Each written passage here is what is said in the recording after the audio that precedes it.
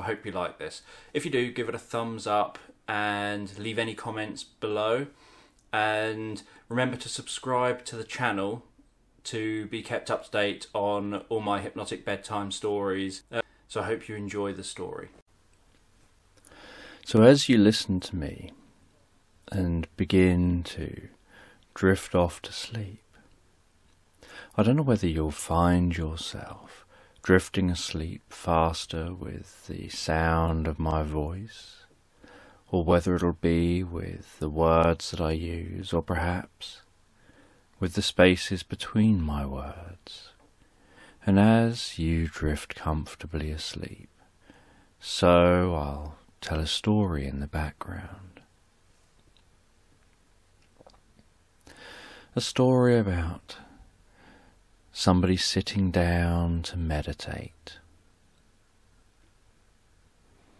And every day they sit down, close their eyes, and drift comfortably into a meditation. Wherever they are, they always find time to sit down, close their eyes, and drift comfortably into a meditation. And one day they're up on a hillside with their eyes closed and they're listening. They can hear distant sounds. They can hear birds. They can feel the breeze on their face. They can feel the ground beneath them. They can feel the way they're breathing in and breathing out. They can notice how thoughts pass by like sticks on a stream or clouds in the sky. And they find a sense of rhythm, a sense of comfort, a sense of harmony as they explore a sense of inner wisdom. And as they continue to meditate and drift deeper inside their mind, they start to find themselves walking towards a bed. And they walk towards that bed and find themselves getting into the bed and lying down. And they find themselves feeling more comfortable. And the more comfortable they feel, the more they notice themselves drifting comfortably asleep. And as they drift comfortably asleep, they start to find themselves in a dream.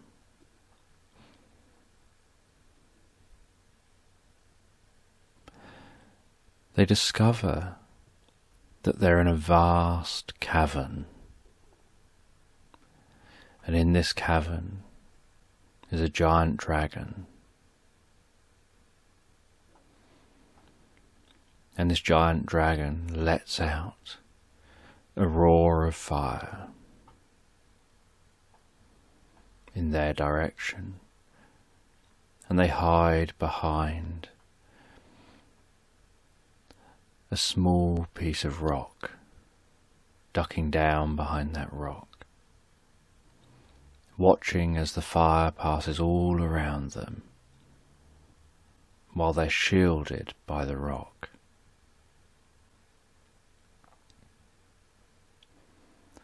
They then run out from behind that cover, looking around, watching how that dragon's head is tracking them they spy another rock.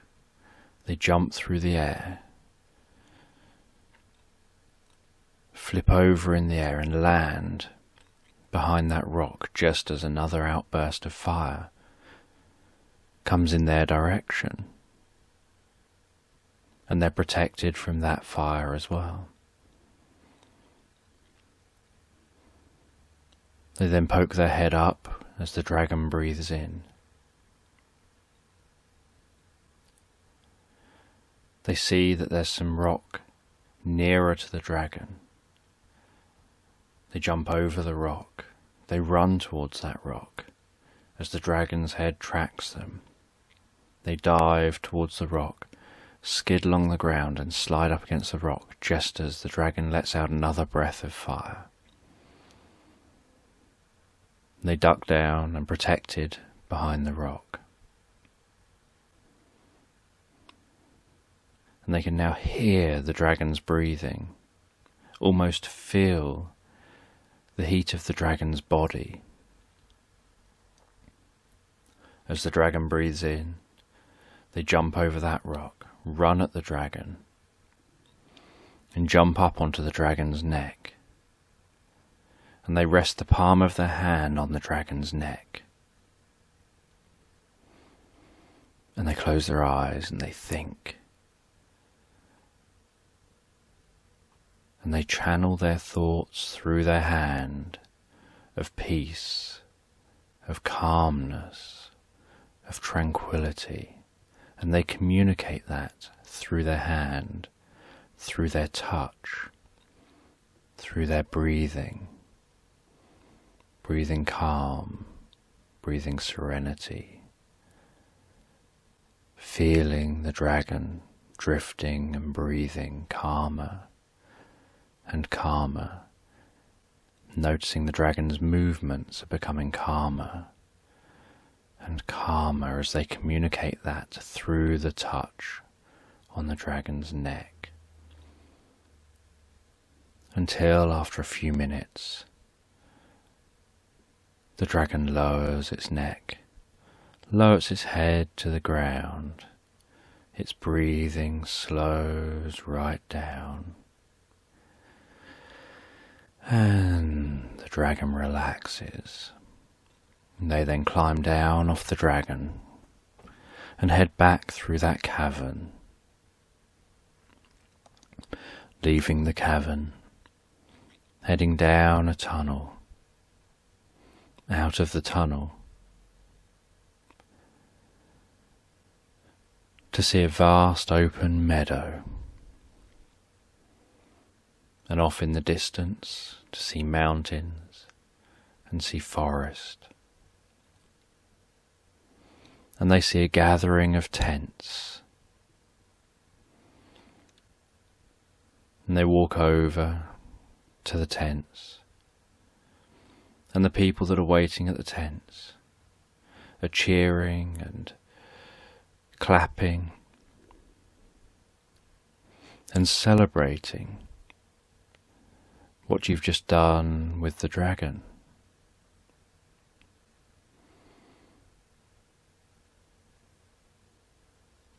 And you go over to those tents to find out what's going on.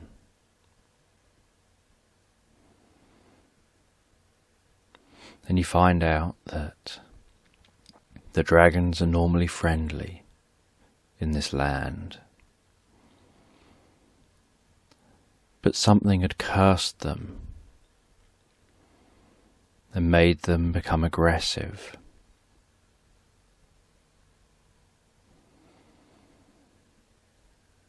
And so you had been called in to calm the dragons down, to use your touch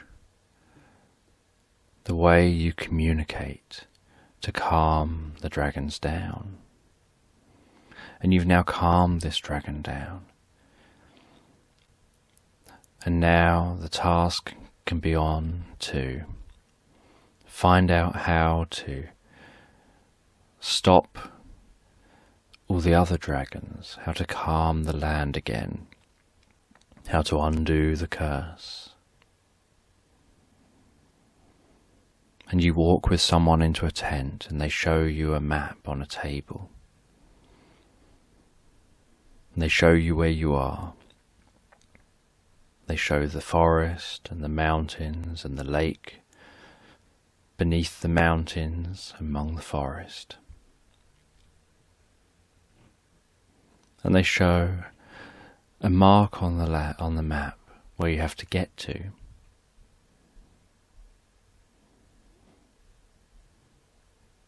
And so you leave the tent and you start on your journey down into the land. And you walk down, heading down towards all the trees, heading down towards that lake.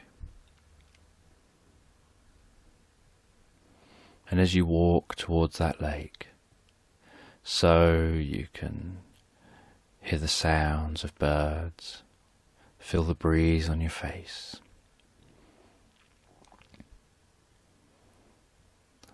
And going down near the forest and noticing the sound of the wind blowing through the trees. As you walk through the trees,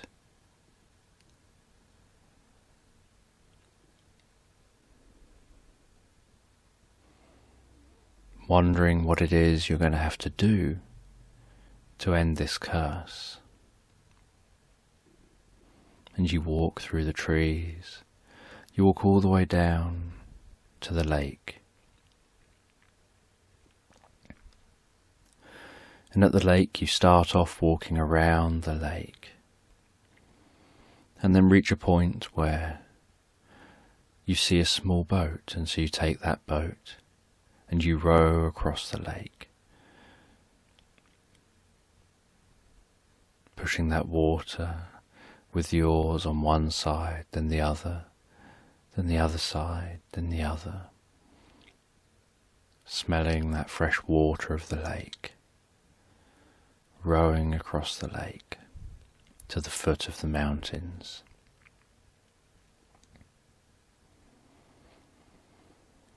and at the foot of the mountains you begin to climb. And you climb and climb. And then halfway up, the sun is setting, and you find a cave. So you set up a temporary camp in the cave. You light a fire and notice how the firelight dances on the cave walls, the shadows dance on the cave walls. You can hear the whistling air as it blows past the cave, as you relax in this cave, feeling warm and calm and comfortable relaxing in this cave and slowly drifting off to sleep.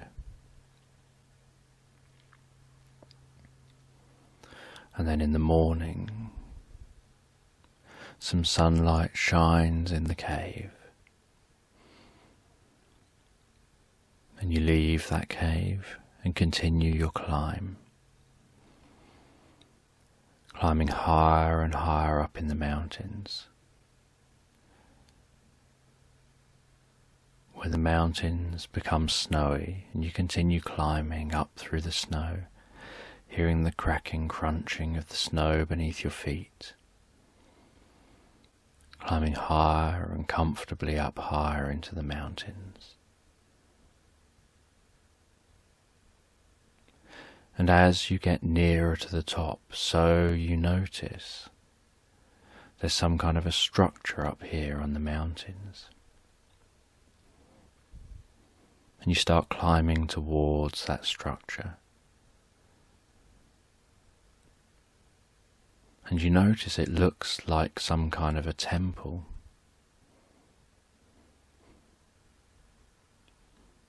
and you slowly and quietly walk into that temple. And as you do, you notice how the sounds of the wind die down, how it's much warmer in the temple than outside. And you start walking around this temple.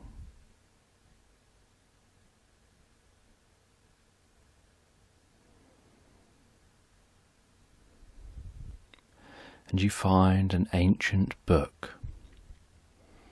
An ancient book that starts telling you about the curse and how to lift that curse.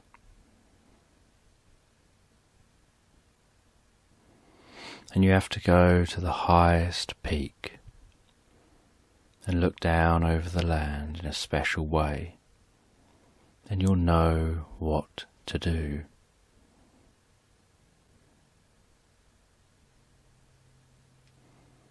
And so you leave this temple. You continue climbing higher and higher up the mountain until you eventually reach the top. And you gaze out over the land, both sides of the mountain.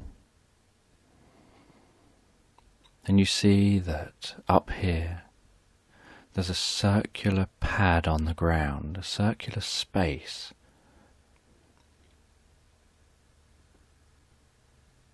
And so you sit down in the center of that circular space. You gaze out over the land, closing your eyes and drifting deeper and deeper inside with each outbreath. And the deeper and deeper you go, the more connected you feel to the mountain and then to the land.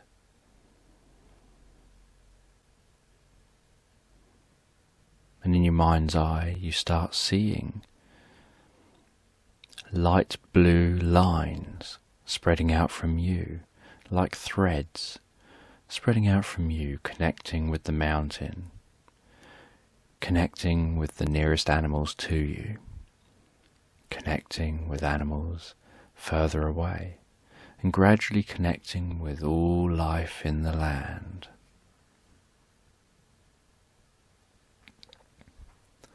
You start to see this connection happening with your eyes closed, as if they're open you start to see the way you're connecting with all life in this land with these blue threads.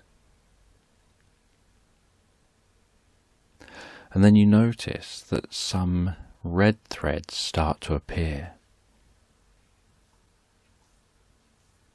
And you see one of the red threads is up in the air and you follow it. And you notice it's a dragon and then you follow one of the other red threads and can see another dragon flying elsewhere. And you realize that the red threads must be taking you to dragons and connecting with the dragons. And all the blue threads are connecting with everything else. And that those red threads need to be blue.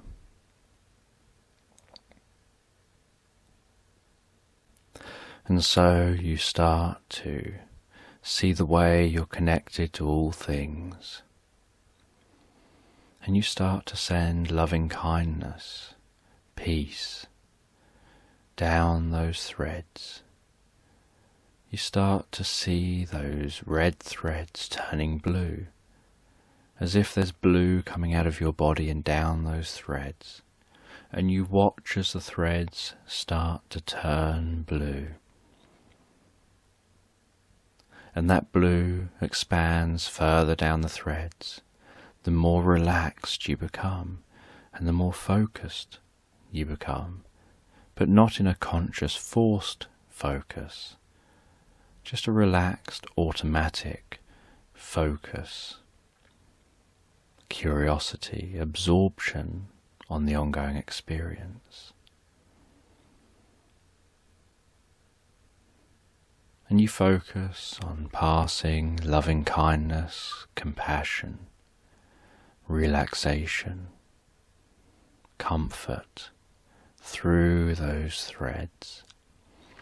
And you see how that starts to pass towards the dragons. And eventually those threads turn blue.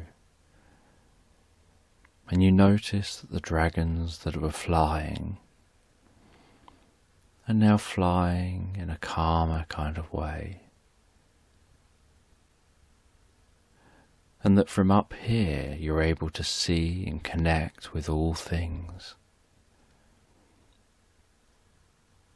And spread out some of what is useful from you into all those things, including the dragons, and calming the dragons in the land, and undoing the curse in the land.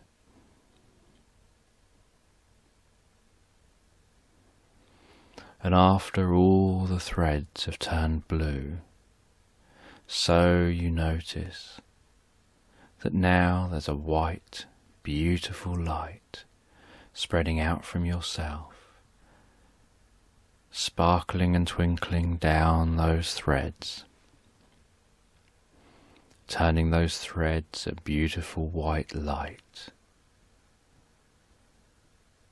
sending peace and love and kindness to all beings in the land, undoing any curse and protecting everyone from any future curse.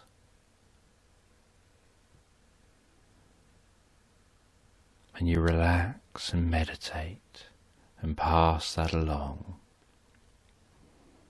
And then, after all the threads have turned white, it feels right to allow the eyes to open. And so they open as you stand up on that space. And you start heading back down from the mountain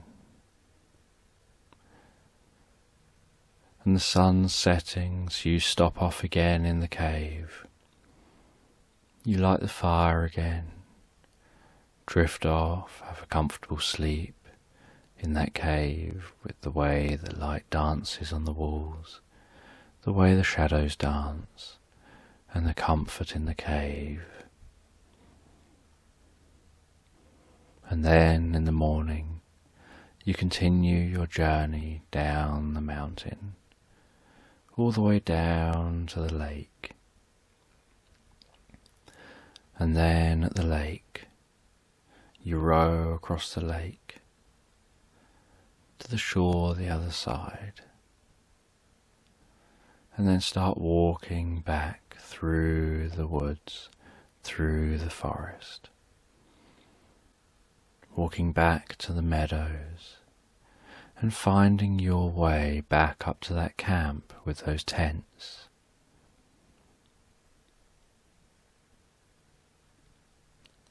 And as you arrive at the tents, so you get told that you've dealt with all the negativity in the land, you've broken the curse in the land, all the dragons are back to being friendly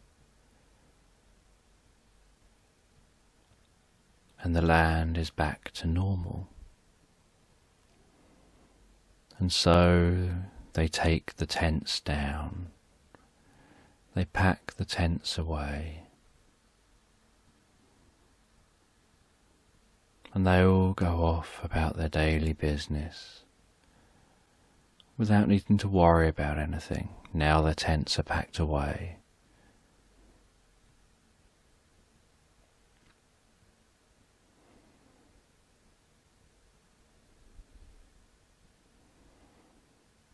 And then you find yourself drifting back to meditating on that hill like you do every day.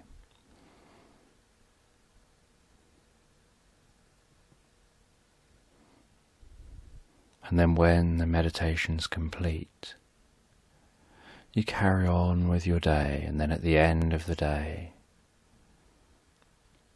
that calmness remains, that peace remains.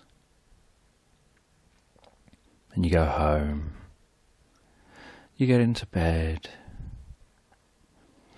and easily and effortlessly begin to drift off to sleep. And sometimes that's quick, other times it takes a few breaths to happen. Just drifting comfortably and relaxed, asleep.